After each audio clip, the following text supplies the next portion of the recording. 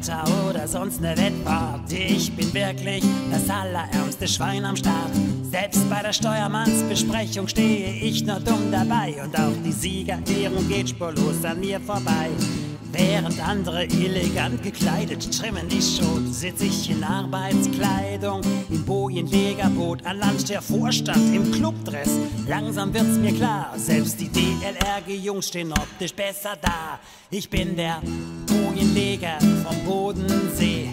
Vom Bojenlegen tun mir schon die Arme weh, denn ich bin der, der an der Kurbel dreht, damit die Startboje an der richtigen Stelle steht. Revierfremde übersehen leicht ganz naiv. Der See ist hier 190 Meter tief. Ja, und jetzt kommst du, ne? 190 Meter. Und jetzt der Kettenvorlauf, du verstehst ja? Ist doch wirklich blöd, kaum dreht der Wind ein Stück, verlegt der Wettfahrtsleiter die Startlinie zurück. Also Hebel auf den Tisch, eigentlich kein Problem, doch 190 Meter Leine sind echt unangenehm.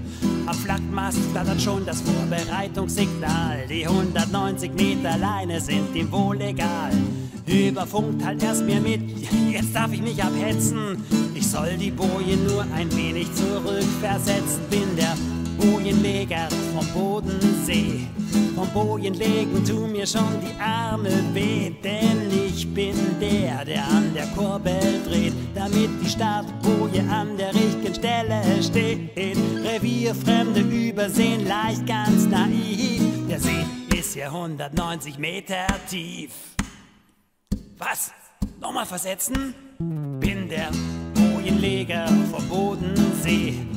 Vom Bojenlegen tun mir schon die Arme weh, denn ich bin der, der an der Kurbel dreht, damit die Startboje an der richtigen Stelle steht. Revierfremde übersehen leicht ganz naiv. Der See ist ja 190 Meter tief.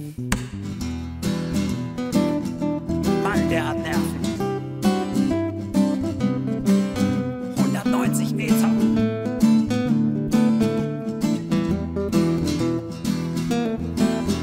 Ist so ungerecht, wär ich am Dümmersee.